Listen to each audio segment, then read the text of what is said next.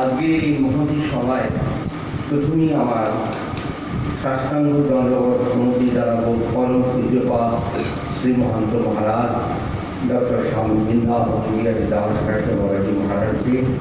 তার সহ আমি আমার দণ্ডবত প্রণাম নিবেদন করব।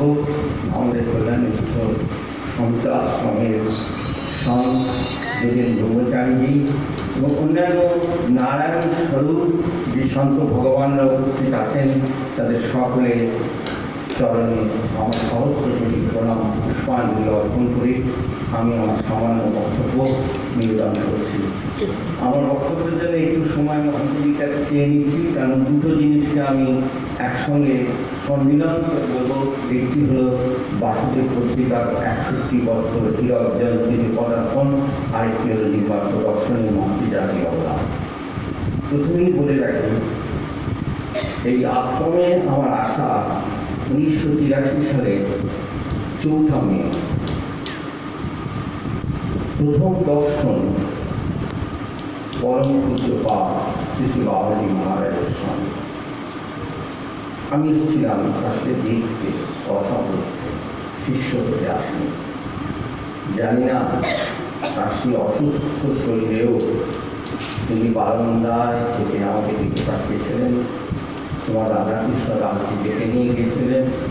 দোতলায় লক্ষ্মীবের এক পাশে উনি আসতে করে বললেন, তুমি আমার কাছে নেবে। আমি বললাম, মহারাজ, আমি পারব না। কারণ আমার তখন বত্রিশ বছর বয়স। কামনা, বাসনা সব কিছু শরীরে আছে। খাবারের দিন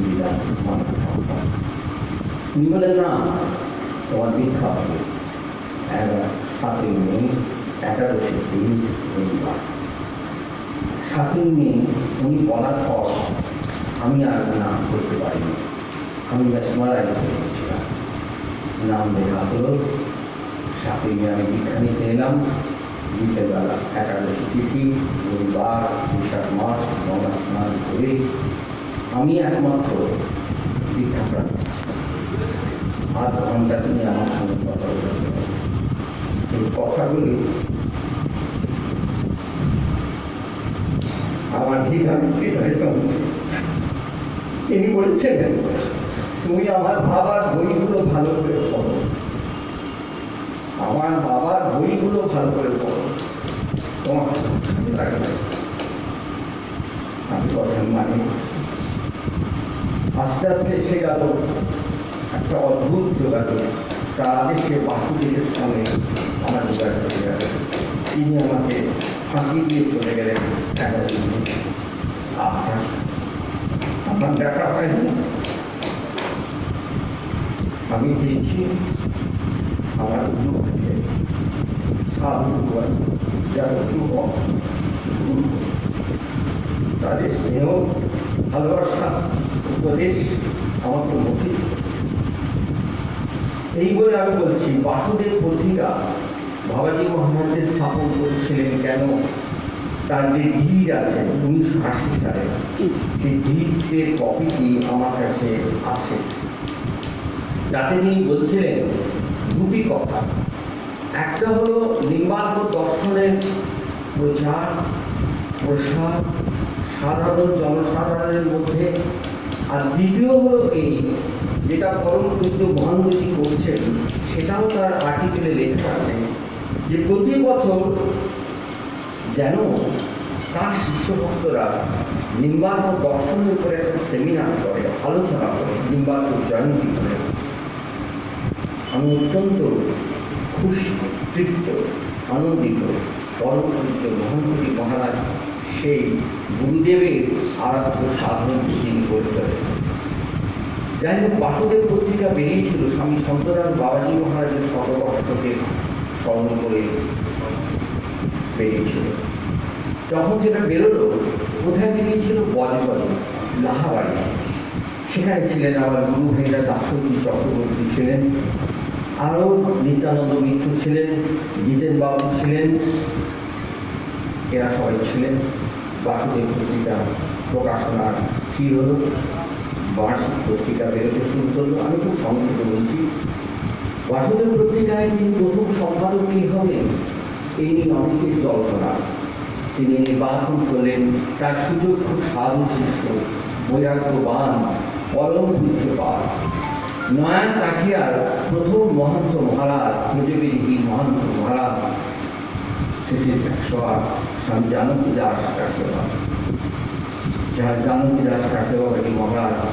তার যোগ্যতার সঙ্গে প্রথম বছর বাসুদেবকে সম্পাদনা করে গেছেন বোধস্বর করে দিতেন সম্পাদকীয় লিখেছেন, পরিচালনা করেছেন। বাবাজি মহারাজ অত্যন্ত স্নেহের সঙ্গে বাসুদেব পত্রিকাকে তিনি যখন ছেড়ে দেওয়ার কথা বললেন। তবুও বাবাজি মহারাজ তার প্রশংসা না করে পারেননি। তার ঐকান্তিক নিষ্ঠা, তার বৈরাগ্য, তার ত্যাগ, তার এরপর আসেন অমরবাবু অমর প্রসাদ ভট্টাচার্য, আপনারা অনেকেই তাকে চিনতেন। তারপরে আসেন প্রভুচন্দ্র পাল। তারপরে আসেন আমাদের বর্তমান মহন্ত মহারাজজি স্বামী শ্রী একবার স্বামী ডক্টর স্বামী বৃন্দাবন বিহারী দাস পারে এর মধ্যে মধ্যে বহু লোকের সেবায় বাসুদেব কিন্তু তৃপ্ত তাদের কার নাম বাদ ললিত মোহন বসু।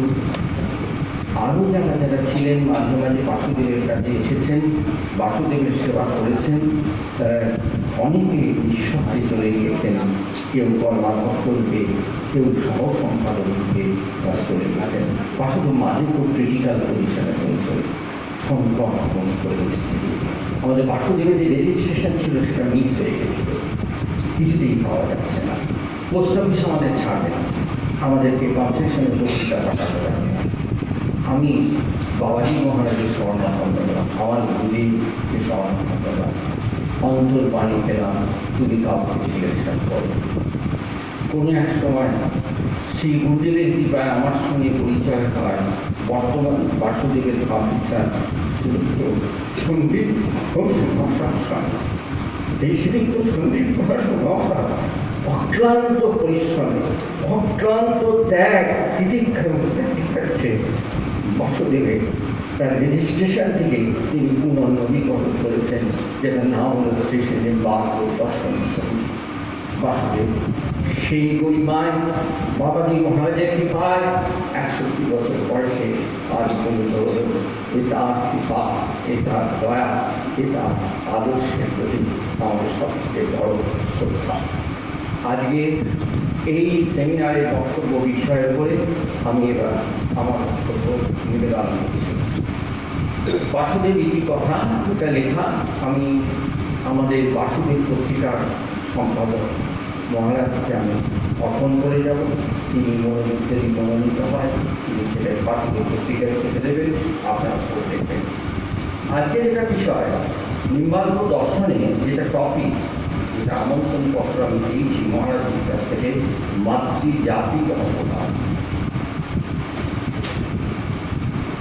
প্রথমেই বলি, এই নির্মাল্য দর্শনের সঙ্গে পরিচয় আমি যে কীভাবে হয়েছি, আমি বিজ্ঞানের ছাত্র। আমি কল্যাণীতে গিয়ে আমার বাবা বাড়ি কিনলেন পাশে একটি আশ্রম, সন্ত আশ্রম। অধ্যক্ষা, পূজারীরা শোভা মাতা তার দর্শন একটা অজ্ঞাত আকর্ষণে সন্তোষে যেতাম সেখানে আরেক মহাপুরুষের সঙ্গে দেখা শিশু কুমার যায় সঙ্গে চুক্তি প্রতিদিন দশ মিনিট করে করে আমাকে স্ক্রিপচার করতে হবে, প্রথম স্ক্রিপচার এটা। তা গীতার একটা শ্লোকে আটকে গেছিলাম। শ্লোকটা হলো এই তদ্বিদ্ধি পরিপাতেন পরিপ্রশ্নের সেবায়া উপদেশন্তিতে জ্ঞান জ্ঞানের তত্ত্ব দুষ্কৃত বললে তুমি ব্রহ্মবিদ্যা শিখতে গেলে তোমাকে